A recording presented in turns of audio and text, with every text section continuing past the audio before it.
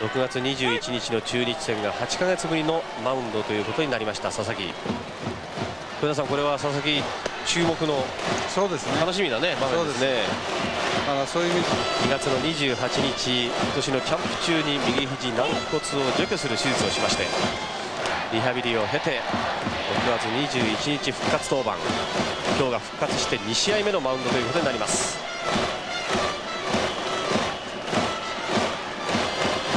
そしてバッターは落合。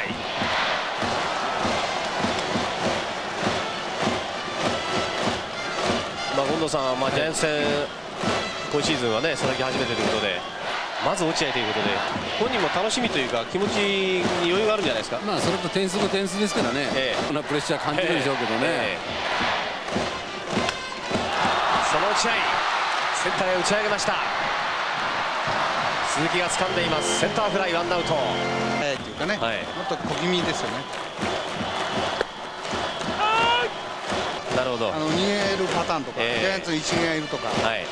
いろんなチームにこうエースがいてそこをつないでいくでしょ、もう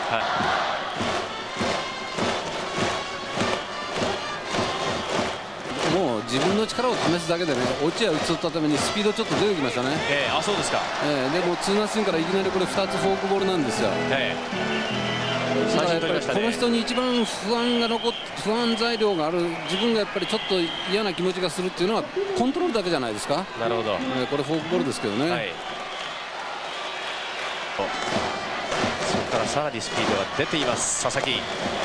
原に対して初球。こういうピッチングするといい時には手が出ませんよ。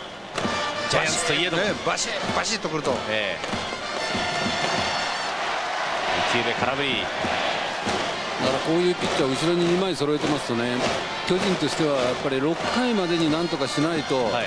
リードされてちょっとたいあの横浜もちょっとこれはどうかなとええ。思ってるんじゃないですか、はい。いや